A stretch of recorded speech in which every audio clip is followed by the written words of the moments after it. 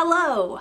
I meant to make this video a couple weeks ago when I was still pretty high on this rather exciting sense of accomplishment. A while ago I was watching a friend's video on self-confidence, link in the description because it's good and you should watch it, and I was struck by how difficult it often is for me to acknowledge that I have done a thing and that the doing of things is an accomplishment worthy of pride. I am now 28 years old. I am a grown-ass, well-educated woman, and I still have what feels like a childlike sense of insecurity when it comes to acknowledging those pieces of myself. In fact, simply saying those words out loud feels strange and foreign, but also exciting and liberating. At the end of March, I participated in this thing here in Missoula called Tell Us Something. It's this wonderful live storytelling event that was inspired by the Moth podcast, and I got up in front of a room full of hundreds of strangers and told a story about the time that I was living out of my car, which is a story that a lot of people, most people in fact, have really only ever heard me tell in passing. So I did this thing, and I know that I seem really like bubbly and outgoing when I'm here in this space, but like remember that I am in a room completely by myself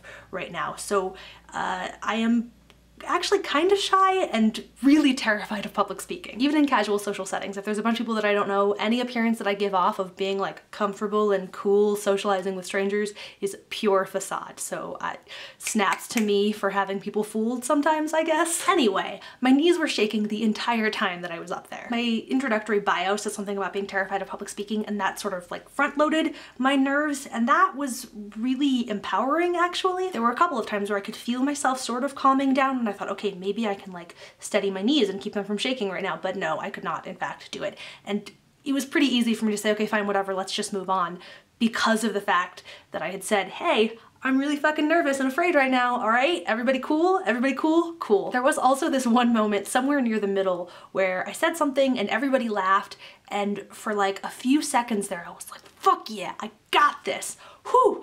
But then I went back to being terrified, but oh, that was a really great, great couple seconds. Even though I was terrified and knee shaking for the entire 10 minutes that I was up there, I was also really excited. It was a very excited, good kind of terrified. Now some of this is owed to the fact that this is just a very special event. The audience, the people who go to this are incredibly encouraging and there was a workshop beforehand so I had already gotten to meet and sort of get to know the other storytellers that night and being a part of this thing with them was also really inspiring and encouraging and empowering. It was dead center in the lineup, so before and after I got to listen to all of these other wonderful stories, and that is also helpful in this kind of situation. But the main thing here is that I did this thing and I feel so proud of myself, but at the same time, it also feels kind of inappropriate to say that. Like, I am proud of myself. It sounds braggy or I don't know. Humility is important, but for me at least, this also feels like something that I have been so culturally conditioned into that I don't even have the emotional language, I guess, to properly process this feeling. Much of this is quite likely tied to the way that we women in particular are socialized to talk about ourselves. The fine line between confidence and arrogance is always fraught, and the voice inside my own head diminishing my accomplishments is pretty much always the loudest. And it's not just this thing. I look back on the last, I don't know, decade of my life and I think about school and living abroad and different jobs that I've had. It's it's all of it. I think I told a total of three people here in Missoula that I was doing this thing, my boyfriend, my roommate, and my boss, uh, because I didn't want to encourage people to come to this thing that had the very real possibility of being utterly humiliating.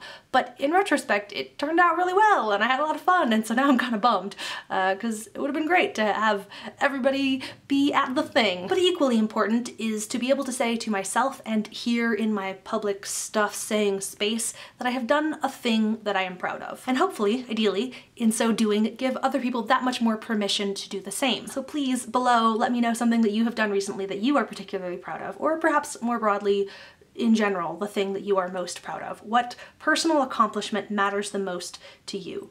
please share because I genuinely want to know. Also, Tell Us Something is launching their YouTube channel, but they need to get to 100 subscribers in order to claim the URL. So if that's a thing that you're interested in, I'll put the link below so that you can subscribe. Bye! Got him. Got him. Nailed it.